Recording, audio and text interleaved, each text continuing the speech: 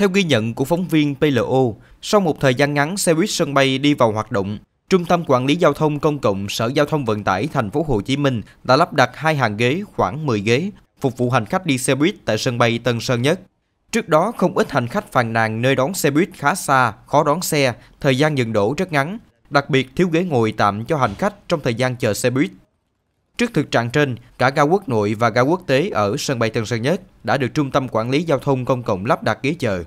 Tuy nhiên, các hàng ghế được lắp đặt tại ga quốc tế đã nhanh chóng bị gỡ bỏ, hiện ghế chờ xe buýt chỉ còn ở ga quốc nội.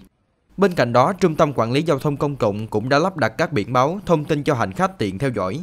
Đối với thông tin chỉ được dừng 3 phút đón trả khách, Sở Giao thông Vận tải Thành phố Hồ Chí Minh cho biết, đơn vị tiếp tục làm việc với cảng hàng không quốc tế Tân Sơn Nhất để tìm ra giải pháp tốt nhất. Bên cạnh đó, Trung tâm Quản lý Giao thông Công cộng sẽ tính toán và điều phối xe để làm sao trung bình có 5 phút một chuyến xe buýt, hành khách không phải chờ đợi lâu.